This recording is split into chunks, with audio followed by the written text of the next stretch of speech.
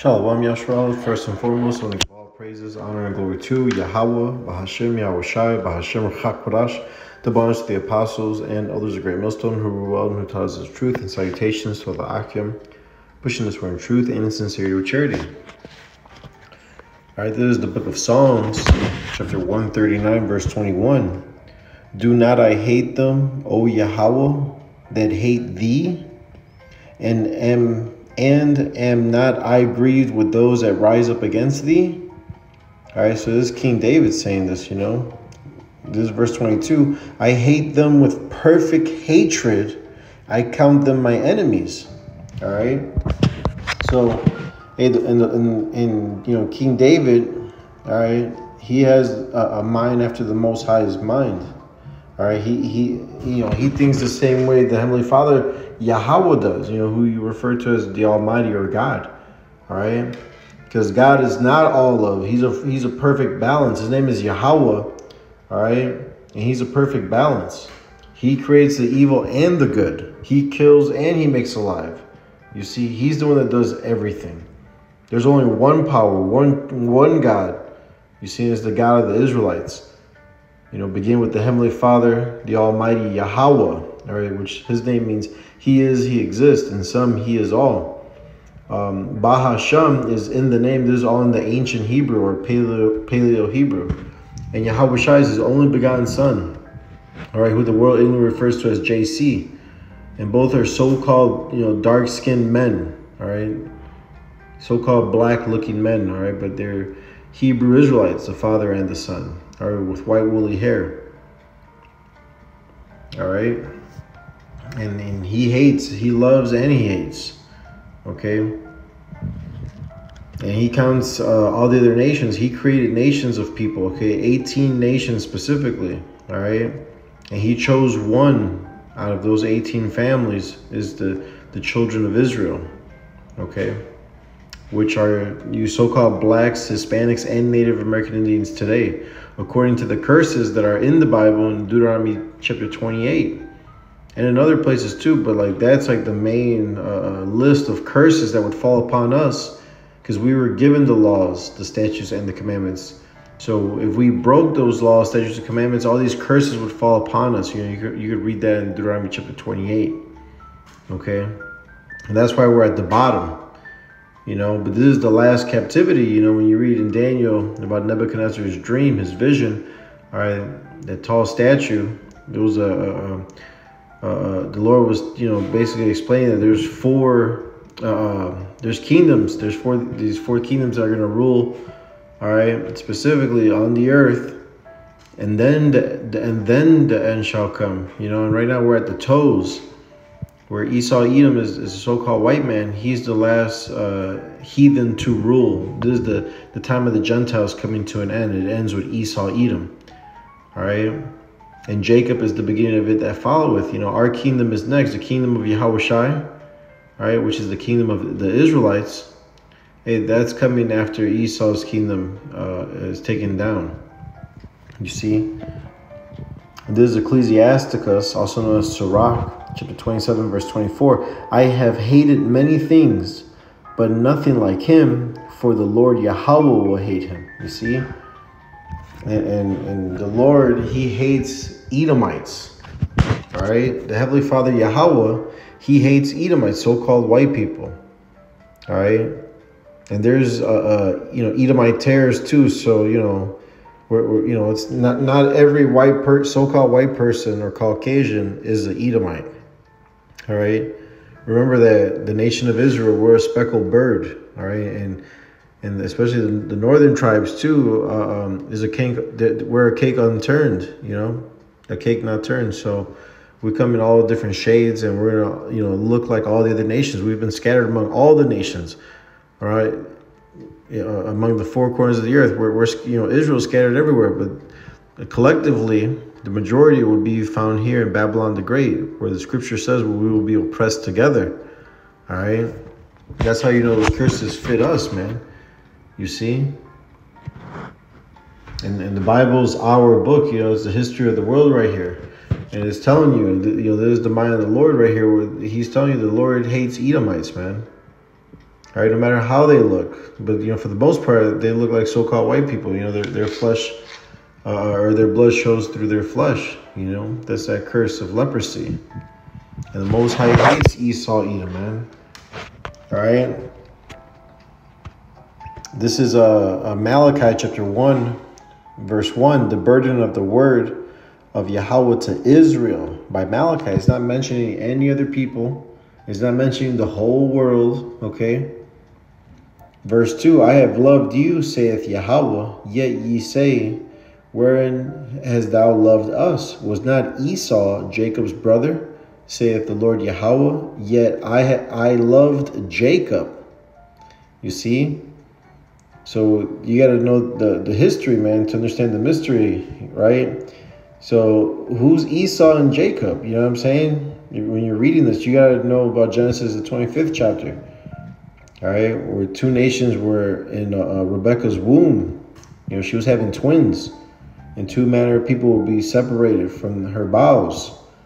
All right, and one people will be stronger than the other. So we're the stronger people, the Israelites. All right, Israel means he, prince, power. All right, we, we are the princes of the power, man. We ourselves are gods, right? But right now we're in these chains of darkness. You see. But our you know our time is gonna come very soon where we, we change, man. All right. But nonetheless, um, but Esau came out.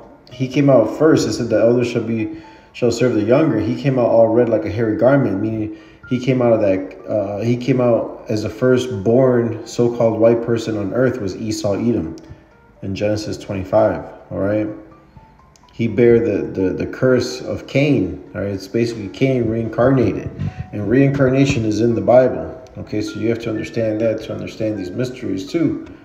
Okay, but this is where it was not Esau Jacob's brother, saith Yahweh. Yet I I love Jacob, and I hated Esau, and laid his mountains and his heritage waste for the dragons of the wilderness. Verse 4 Whereas Edom, all right, Edom is, is also Esau. Okay, Edom is Esau. Whereas Edom saith, We are impoverished, but we will return and build the desolate places. Thus saith Yahweh of hosts, of armies, They shall build, but I will throw down, and they shall call them the border of wickedness. So, so the Esau, Esau, Edom, the Edomites, so-called white people, are called the border of wickedness. And the people against, against whom Yahweh, the Heavenly Father Yahweh, have indignation forever. He has a righteous anger with these Edomites. All right. They are the one nation of people, brothers 18. They're, they are the one nation of people that will get that will get no mercy. Okay, when the Lord is through with them. All right, they're not gonna get no mercy, meaning they're not gonna uh, um, have uh, what's the word? It's um oh resurrection to life. Yes, it's in the apocrypha. They have no resurrection to life. All right, after they do their time. All right, after they do a thousand years of hardcore slavery under us and build up our kingdom. You see, and then the Lord's going to get rid of them. There shall be none remaining from his house. That's talking about some hate right there. You know what I'm saying? That's in the Bible, man. Again, Sirach 27 and 24. I have hated many things but nothing like him, for Yahweh will hate him. Hate him so much to exterminate his whole line. Women, children, all right, men. There's after a thousand years of hardcore slavery, the Lord's gonna exterminate the Edomites. They, they, they try to do it to us. They say, race it, race it, even unto the foundation thereof. They wanted us all gone. They still do right now. They have a perpetual hatred towards us. You know, Ezekiel 35 and 5. And that's why these Christians, they don't know and understand these things, man. The Lord loves and he hates. All right.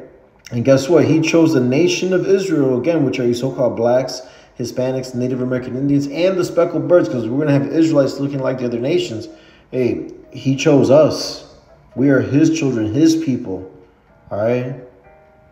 We love him because he first loved us, man. He chose us. He, he said, This is my portion right here you know? And he hates Esau, man. Esau's not going to get no mercy. You see, after a thousand years, because all the other nations, the other 17 nations, all right, the, the, the you know, what nation has not had, had a, a part of her? All these other nations had us in captivity, all right, throughout history. You see, and it's in, it's found in the Bible too. It's in the scriptures. All right. Because the Bible's the history of the world. Hey, they're all going into slavery when Yahweh returns. All right. And after a thousand years, the Lord's going to have mercy on these other nations. He's going to allow them to have their own lands and, and go to them. And they are all going to follow the laws, the statutes, and the commandments. All right. In the flesh. So when they go off, you know, we're going to pass righteous judgment. And they're going to be happy too. All right. Because it's not, it's not going to be what it is, what, what you see today. The wicked are in rule right now. That's why the people mourn, man. But when the righteous rule, hey, the people rejoice. You see, and that time is coming. All right? And then the Lord's going to get rid of Esau, Edom, the one he hates, man. All right? And and this is the Lord showing the Lord's power because he's he he gave Esau this power. Esau's the basis of all men. All right, but the Lord is showing his power through this, you know, Edomite, these Edomites hardening their hearts, you know, and, and, you know just setting them up, setting them up. All right, but this is Job nine and twenty four. The earth is given into the hand of the wicked. He covereth the faces of the judges thereof. If not, where and who is he? So uh, again, we read in Malachi one and four that Esau Edom is the border of wickedness. You see, when you read Daniel 4 and 17, the Lord, He sets up whoever He wants, all right, to rule. And He set up Esau Edom for these last days, man. All right. The earth is given into their hand. All right. That's why they have control of the whole thing. All right. This is um and, and that's just, you know, the, the Lord showing his power through all this as well. Yeah, we have to recognize that. You see? Because everyone is at all with, with Esau. Like, oh wow, you know what I mean? He's in power, he's in rulership. You know, people are trying to like you know, especially Jake, they trim their, their ways to seek love through this devil, you know. But it's all of the Lord, man. You see? This is um because we're talking about hate and, and love, you know, because the Lord said it here too. This is uh Romans chapter 9. And you actually we'll start up Yeah, because you know, two thirds. Hey, they're not gonna make it. Two thirds of our own people, blacks, Hispanics, Native American, Indians, speckled, but two thirds of America, uh, uh, two thirds of our people here in America are not gonna make it. All right, they love Esau. They love their oppression. All right, they love their oppressor. You see, so the Lord's not even counting them as His people. All right, He wants uh, uh the the true worship worshipers that are gonna uh, worship Him in spirit and in truth. You see. They're seek his face, all right? They acknowledge their sins, you know, and that's not all Israel today. Not all Israel's Israel. It gets into it, but since you know, I mentioned it, let's start up here. Romans 9 and 6. Not as though the word of Yahweh had taken none effect, for they are not all Israel, which are of Israel. All right, I'm not talking about the, the small caps, or that's Amalek. All right, Amalek is the head tribe of the nation of Edom, all right, with the curly fry hair and all that. You know what I'm saying? Those are imposters that are in our land right now. You see? But verse 7 neither because they are the seed of Abraham are they all children. You see? You read that in Second Esdras, the sixth, uh, sixth chapter. You know, I think uh, starting at verse fifty-four on down. All right, Neither because they are the seed of Abraham are they all children, but in Isaac shall thy seed be called. So there's a chosen lineage right here. All right. You know, uh, it's all about th- that one special seed. You know, it says, In Isaac shall thy seed be called. And Isaac, all right, you know, he, we know that he put away Ishmael, right, the Arabs all right, they're not the the, the the, the children of the promise or the seed of the promise. All right. So after that, what came next? It was uh, uh, Esau and Jacob. Okay. And it, and it was written, and it, it was said uh, and written that the elder shall serve the younger. All right, back in that Genesis twenty-five. All right, but this is um Verse 7 Neither because they are the seed of Abraham are they all children, but in Isaac shall thy seed be called. That is, they which are the children of the flesh, these are not the children of God. All right, these are not the children of Yahweh, okay? But the children of the promise are counted for the seed. Okay? And in, verse 9 it says, For this is the word of promise. At that time will I come, and Sarah shall have a son. You know, this is Abraham's wife, Sarah. Okay. Not only this, but when when uh, when but when Rebecca also had conceived by one, even by our father Isaac. All right. So it goes from Abraham to Isaac. Okay and then to Jacob. Jacob's the, the promised lineage, the the, pro, uh, the children of the promise, the seed of the promise. Okay. Uh, verse 10 and not only this but when rebekah also had conceived by one even by our father isaac for the children being not yet born neither having done any good or evil so this is all the will of yahweh bahashim yahweh all right the lord said i would do all my pleasure his he said that his word would not go back void unto him, but it will accomplish everything that he pleases. All right? There's no such thing as free will. All right? The Lord is in control of everything. All right? Man's goings are of the Lord. You know, how can a man understand his own way? You see? But us, uh, uh, uh, the, the prophets, the hopeful elect, hey, we, we understand Yahweh Bashim Yahushai. All right? And, and that's why two thirds can't get it. Christians can't get it, man. All right? And all these other people, they just can't get it. You see? The Lord's doing all this, all right, to magnify his name at the end of it. All right? You're going to know who the power of the Israelites is, man. It's Yahweh Bahashim Yahushai Bahashim Chakudash. Okay? But this is verse 11 For the children being not yet born, neither having done any good or evil, that the purpose of Yahweh according to election might stand not of works, but of him that calleth. You see, this is all the will of the Lord right here, the, the Heavenly Father Yahweh.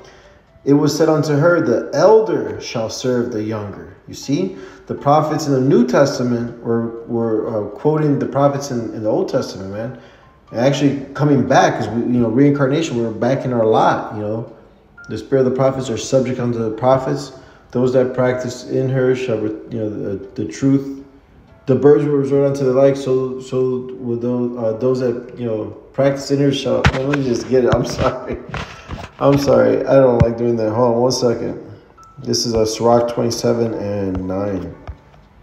And it reads, The birds will resort unto their like, so will truth return unto them that practice in her. All right, so we're, we're back in our lot. You see? This back in Romans 9 and 11 again for the children being not yet born having neither having done any good or evil that the purpose of yahweh according to election might stand not of works but of him that calleth all right it was said unto her the elder shall serve the younger and as it is written here's verse 13 again this is uh, quoting malachi okay as it as it is written jacob have i loved but esau have i hated you see so when you read Genesis 25, you see that Esau came out first. All right, he came out all red. He he's the so-called white man today. You see, and he has a perpetual hatred towards us. That's why he's always lynching, you know, Jake, shooting him down in the streets, and you know, you know they're not in trouble like other men. You see, so they get off these these crimes. All right, it's just not their time to be punished. When the Lord returns, believe me, that's going to be the time. All right. The Lord's going, Yahweh is going to take out his whole kingdom worldwide in one hour, man. He's to, America's to get nuked with fire. You see? how much he hates this place. But he's to save his elect out of it, man. All right. But this verse 14. What shall we say then? Is there unrighteousness with Yahweh? Yahweh forbid. For he saith to Moses, I will have mercy on whom I will have mercy, and I will have compassion on whom I will have compassion so that it is not of him that willeth, nor of him that runneth, but of Yahweh that showeth mercy. You see? For the scripture saith unto Pharaoh, Even for this same purpose have I raised thee up, that I might show my power in thee, and that my name might be declared throughout all the earth. You see? Because right now, hey, the, the, the Lord's not getting his glory right now. He's not getting, you know, his props. You see?